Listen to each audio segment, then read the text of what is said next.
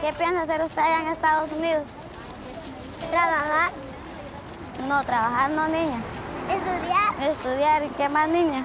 Trabajar. ¿Ser alguien en la vida? Sí.